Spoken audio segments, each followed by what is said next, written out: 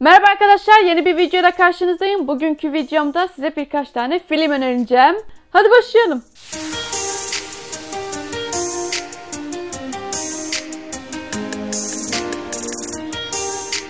İlk önereceğim film arkadaşlar bir Fransız filmi. Zamanda Güneşin Kızları izlerken Ali ve Selin bir sahnede konuşmuşlardı bu film hakkında. Ben de oradan bulup izlemiştim. Filmin adı Jeux d'enfant. Aslında çocukların oyunları anlamına geliyor. Ama Türkçe adı Cesaretin Var mı Aşka. Film 2003 yılında çekildi. Yönetmeni ve senaristi Yann Samuel'dir. Başrollerini e, Guillaume Canet, Marion Cotillard, Thibaut Verray, Joséphine Lebas-Joly oynuyorlar.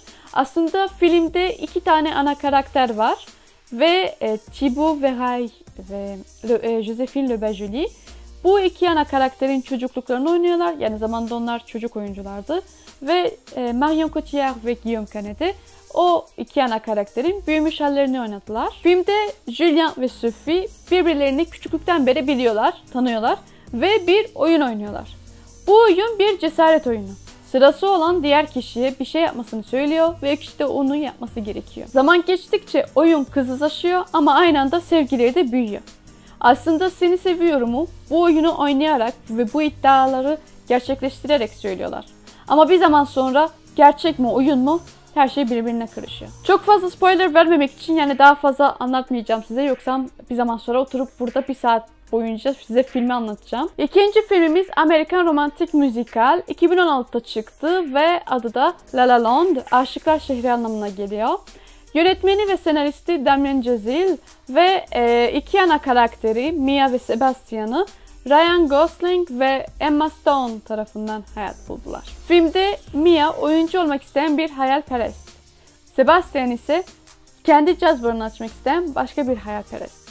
Los Angeles'ta yaşayan bu iki kişi şans eseri bir gün tanışıyorlar ve çok tatlı bir aşk hikayesi başlıyor. Ama bu iki hayalperestin hayalleri var. Acaba bu hayallerini gerçekleştirebilecekler mi?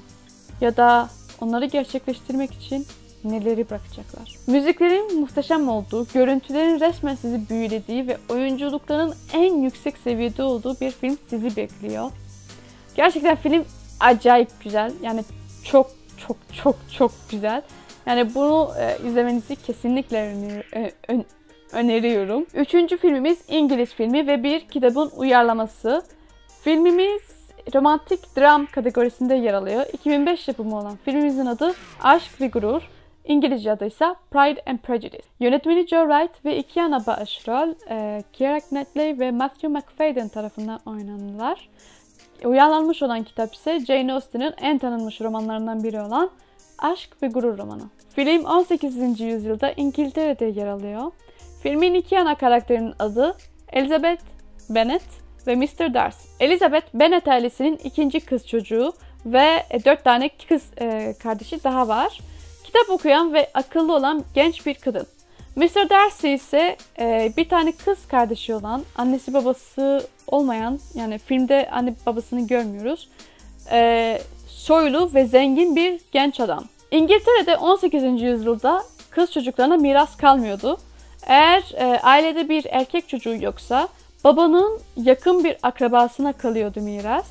Ve e, bu durumda e, Elizabeth'in annesi hele ki kız çocuklarını evlendirmek için türlü türlü çabalara giriyor. Ama Elizabeth e, aşık olup evlenmek istiyor ve o günde zaten gelip çatıyor. Bir baloda burnu havada ve gururlu Mr. Darcy ile e, tanışıyor.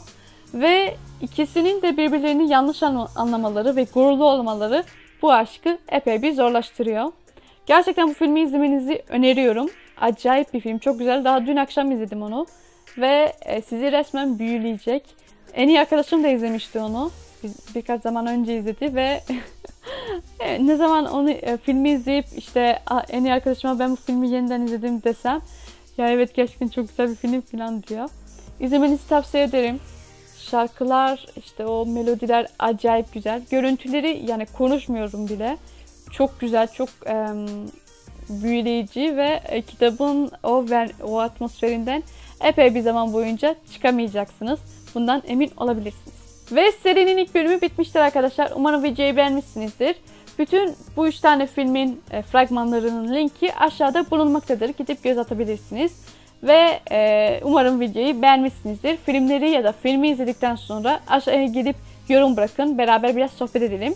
Beğendiniz mi, beğenmediniz mi falan söyleyin.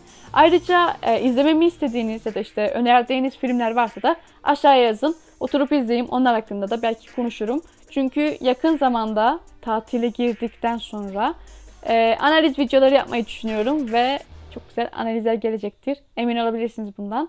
Neyse.